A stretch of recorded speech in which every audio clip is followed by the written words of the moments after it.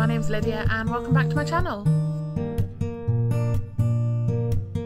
Today I'm doing the unpopular book opinions tag after watching Rose's video that she did I think last week and I thought time to do that one.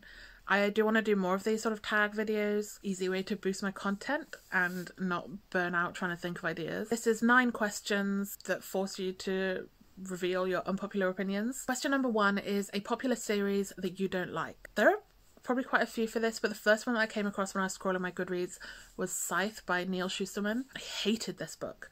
I haven't read the series, obviously, so I don't know if it gets better, but I don't want to based on the first book.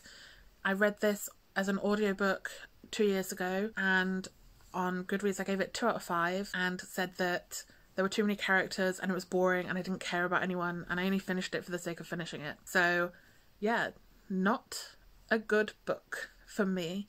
But I see so many people raving about it and it's one of those where I'm like, did I read a completely different book? So I don't know if I was just worn out from reading maybe or if the audiobook was a bad idea. I don't know if I would enjoy it more if I read it as a physical copy or if it was just the wrong book for me at that time. I know I was very tired traveling I remember like hate listening to it when I was on the train from JFK into the city. So maybe I was just a bit overwhelmed and it was the wrong book for me at that time. I'll never know because I don't think I plan to reread it. Unless I come across it in a charity shop, like I'm not going to go out of my way to buy it again. And I don't think I want to try the audio again because, in general, if I don't like an audiobook, I'm not going back to it. That's a lot of time to waste. The next question is the opposite. So, this is a book series that you love that most people don't seem to like. And for me, this is Stags by M.A. Bennett. It only has like 3.5 or maybe even lower on Goodreads, but this is one of my favourite series of all time. The latest book, the fourth book, isn't actually very good, but the first three books are phenomenal. Um, they are Stags, Tigers, and Foxes, maybe? No, Stags, Dogs, and Tigers. Stags, Dogs, and Foxes. Tigers is the bad fourth book. So this is a series about a girl who gets a scholarship to go to this really fancy boarding school and she gets embroiled in stags, which is the um I can't remember exactly what it stands for, but it's the old like school society and the school is run by kind of like monk type people, the abbots and things, and there's this dark underbelly to it all where the rich popular white students hunt fish and I can't remember what the, the other word is, like hunting and fishing, and they are targeting other students and hunting them for fun and for sport.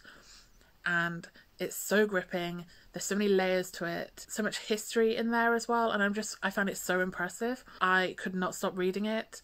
I got an early copy of the second book and I read it on the train down to YALC in 2019 and I got to meet M.A. Bennett there and she said I was the first person to have finished it that she knew of, which was really exciting.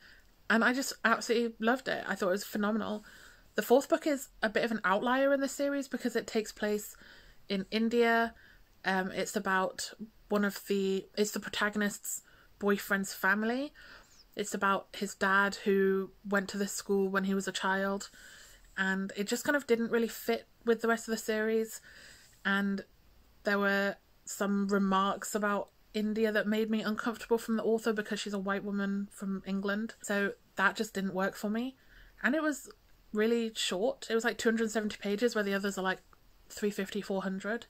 So it just kind of felt like she didn't know what to write and wanted to drag it out a bit. Because I know there's going to be a fifth book in the series, which hopefully is going to return to the school and Greer and the mystery that we've been following. The first three books are fantastic and I absolutely loved them and most people don't seem to. They rate them really low. Question number three is a book with a love triangle where the protagonist ends up with a person you don't want them to end up with. For me this is To All the Boys I Loved Before. I love this series. I devoured all three books. I can't remember which book it was. I think it was the second book where Lara Jean has a sort of thing with John Ambrose I loved John Ambrose. I really wanted her to end up with him. I thought they had way more chemistry and he was a much better character. But she didn't. She ended up with Peter. I really would have liked to have seen what would happen if Lara Jean and John Ambrose had got together.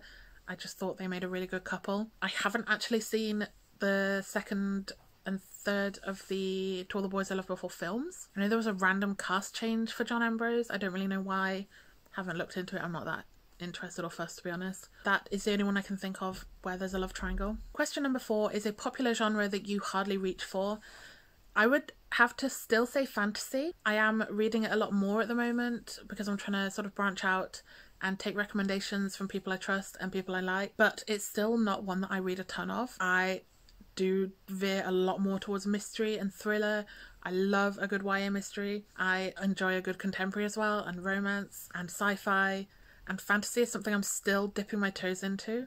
I do have a lot of it on my shelves though at the moment because a lot comes in book boxes and it's one that I'm still sort of finding my feet with and figuring out what I like and how intense the fantasy I like and can take. Some of my favourite books are now fantasy, so it's one I'm trying to reach for a lot more. Number five is a popular or beloved character that you don't like. This one is hard for me. I can't really think of many. I'm sure there are popular characters that I've not liked because I remember raving about them in some of my reviews, but I can't think of any now except for Aristotle and Dante from the book. I think it's Aristotle and Dante Discover the Secrets of the Universe. Fucking hated that book. It sucked. It's so bad.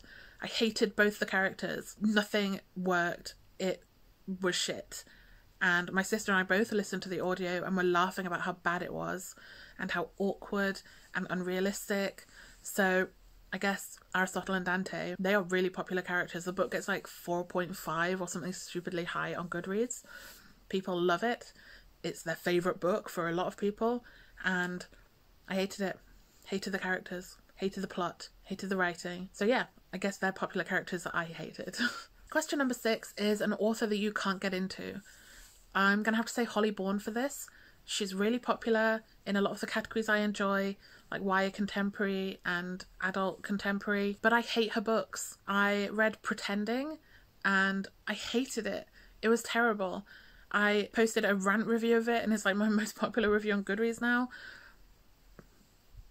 It was shit. I gave it two. Um, I don't know why I even gave it two. I think it's probably more of a one star because I really hated it. It was just annoying. The protagonist was really fat phobic and rude and horrible to her friends. I just hated it. And I thought maybe it's just that book. So I tried I tried reading How Do You Like Me Now as well. I think I gave it a three stars, but again that seems far too high. I've just reread through my reviews of Pretending and How Do You Like Me Now and they I slate the books in them and in my memory I hate the books but I gave them two and three stars so I've bumped them both down to one because I hated them. They sucked. And I can't get into Holly Bourne's books. I'm not going to try another one of hers. I, I know a lot of my friends love her books and my sister really likes her books and people keep trying to get me to read them but I'm not going to because I've read two that I despised. So I'm not going to waste my time on someone who I know I'm not going to enjoy.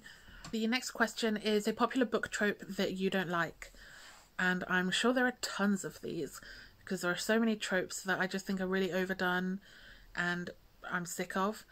But the one that jumps out is insta love, where the reader is not convinced in this relationship. I understand insta love, that's fine.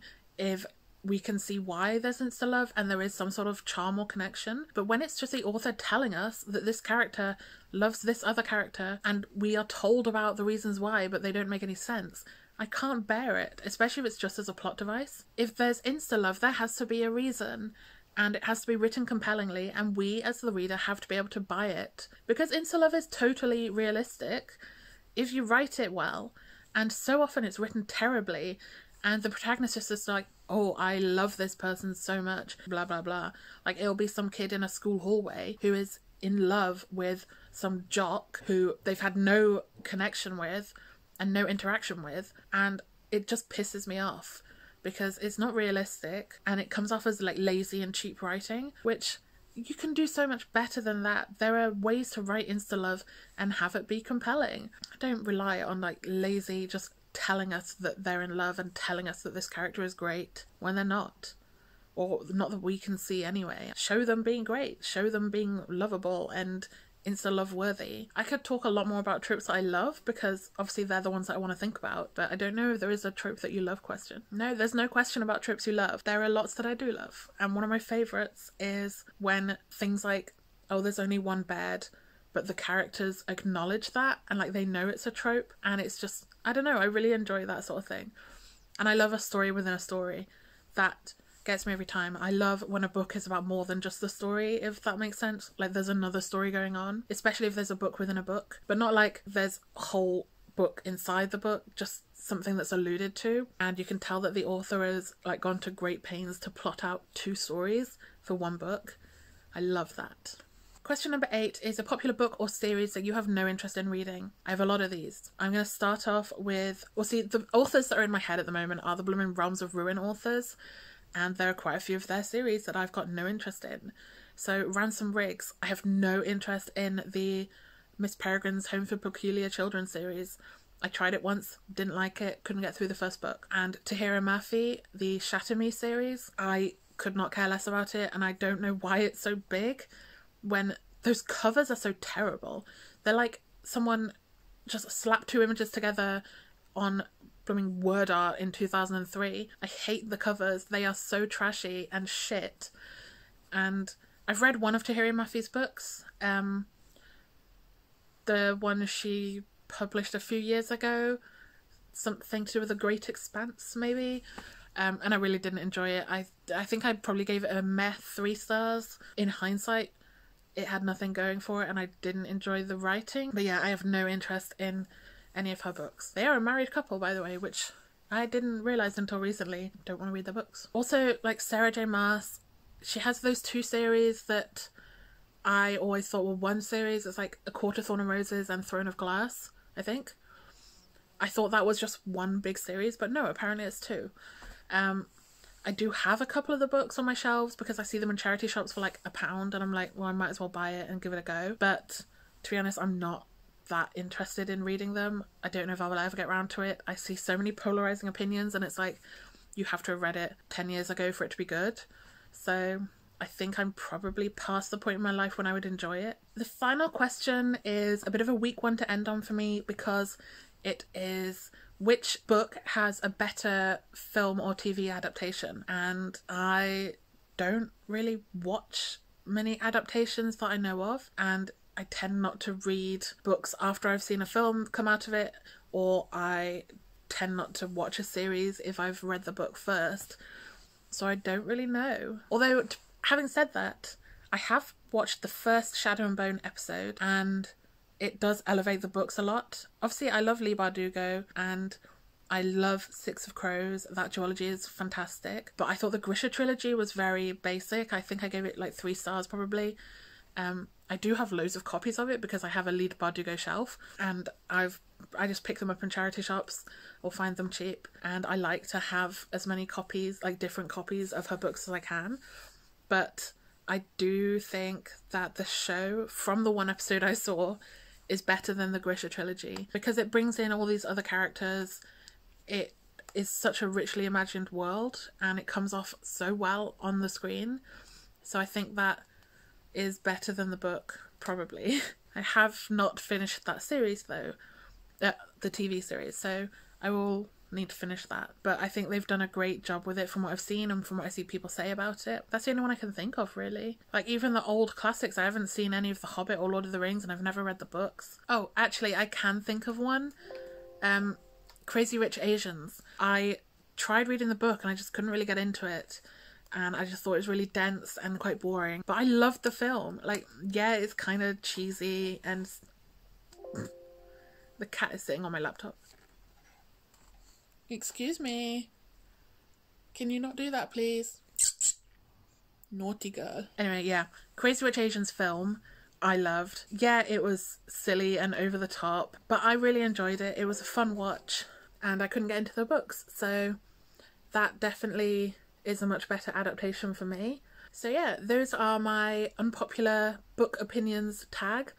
Um, I don't know how unpopular some of these will be. I think probably a lot of people are going to disagree with me about Scythe because that seems to be really popular. So yeah, I I want to make more sort of tag videos like this. So if you have any tags that you want me to do, just let me know down below. Otherwise I'm just going to find some that sound good to me and film them. I hope you've enjoyed this video. Please leave a little book emoji down at the bottom if you've made it this far and I'll see you in the next one.